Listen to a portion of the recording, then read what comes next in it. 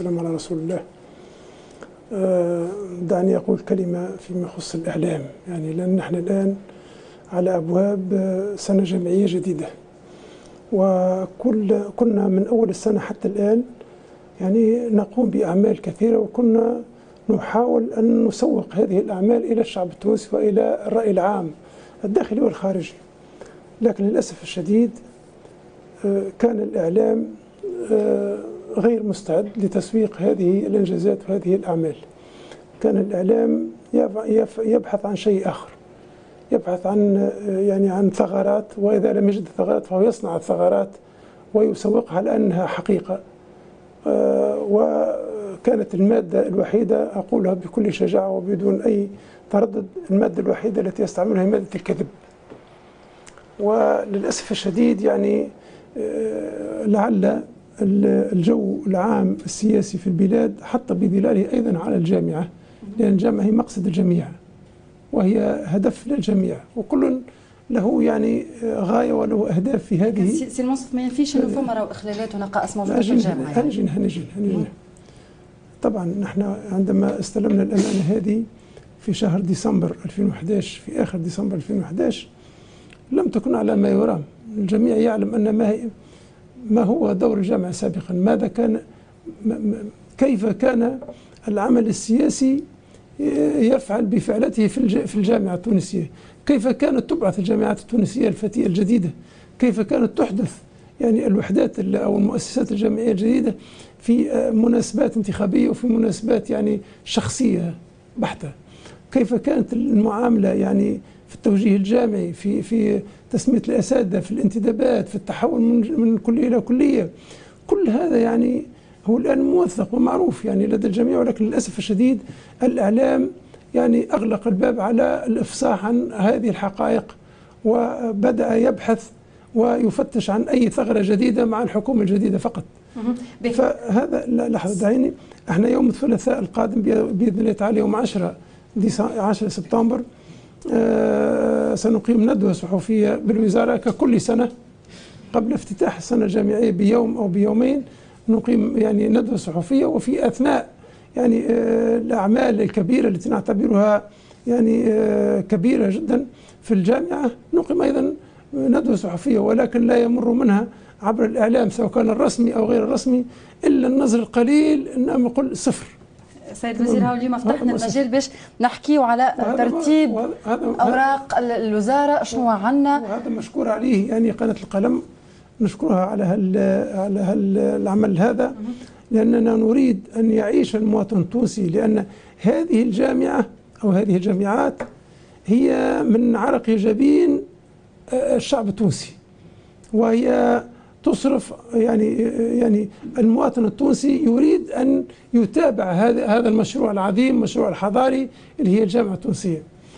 لكن للأسف الشديد المواطن في غيبوبة تامة عن أو في غياب تام عما يجري في الجامعة لما نقول يعني باستثناء بعض من لهم يعني آه، أبناء أو بعض من لهم يعني أقارب يتابع من قريب ومن بعيد بعض الأخبار الحقيقية عن الجامعة.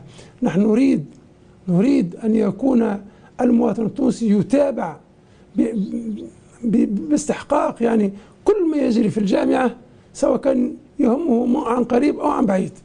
مش فقط اللي عنده ولد يقرأ اللي عنده طالب يقرأ أو عنده طالبة تقرأ فقط هو الذي يهتم بالتوجيه الجامعي يهتم بالمبيتات يهتم بالمنح يهتم بالبحث العلمي يهتم بال... لا لا. ماذا بينا المواطن يعرف حتى شنو صاير داخل الحرم الجامعي؟ هذه من أهم نعم. النقاط اللي اليوم نعم. إن شاء الله نطرحوها نعم. في حصتنا رجع الصدى بالنسبة إن شاء الله. بالنسبة للجامعة هذه السنة يعني آه، حاولنا يعني من أول السنة ونحن يعني تقريبا بدأنا في بعض اللجان تشتغل من شهر جانفي 2013 إلى اليوم.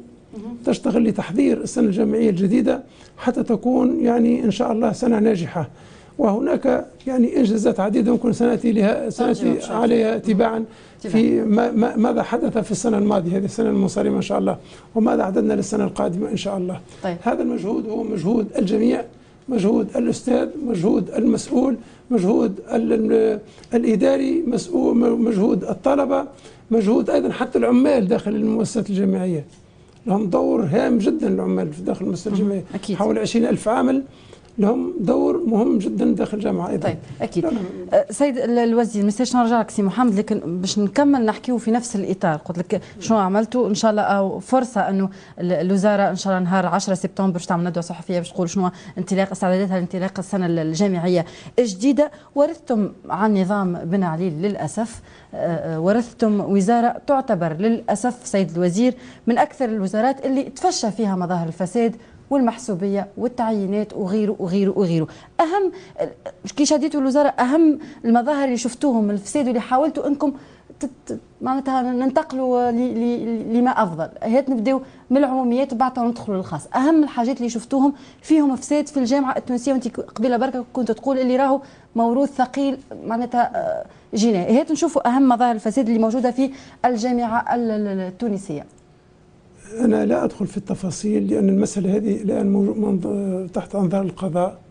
هناك ملفات عند القضاء الآن. أكثر من 25 ملف الآن عند القضاء. وهناك ملفات تحت الدرس في التفقدية العامة وهي تعد أيضا بالعشرات. والبقية تأتي. آه، عندما أتحدث عن الإرث الثقيل من النظام السابق ليس أنه كل ما تركه النظام السابق هو سيء وهو أسود. لا يعني جامعتنا يعني والحمد لله يعني لها إيجابيات كبيرة. وكل ما ما فعل سابقا سواء كان في عهد بن علي أو في عهد بورقيبة مش كله سيء. يعني فيه فيه فيه مربعات بيضاء. لا ننكر هذا. نحن نحاول أن أن نزكي هذه المربعات البيضاء وأن ندفع بها إلى الأمام. نحاول نقضي على مظاهر الفساد نقضي على مظاهر الفساد وعلى المربعات السوداء. فهذا دورنا الآن يعني.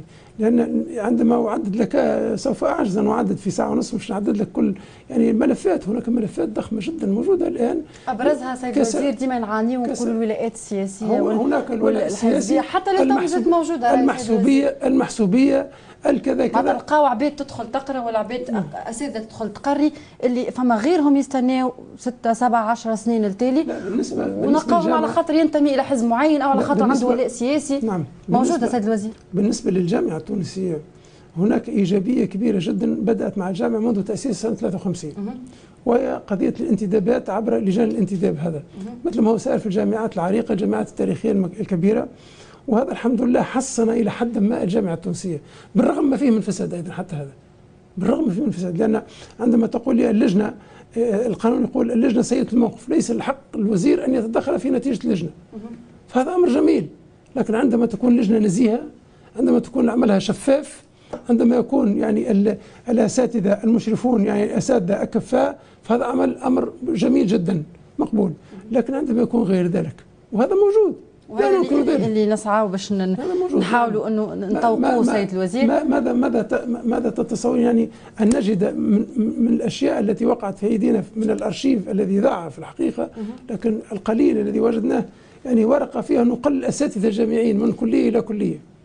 ففي الورقة رسميا ينص على الورقة مكتوب أسود على أبيض الاسم واللقب الأستاذ الجامعي الدكتور في الجامعة الاختصاص الكلية الأصلية الكلية المطلوبة الشخصية المتدخلة لصالحه ما رأيك في هذا؟